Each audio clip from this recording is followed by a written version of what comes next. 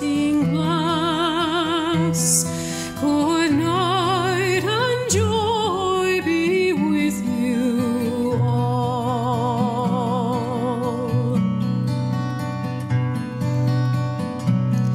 If I had money enough to spend.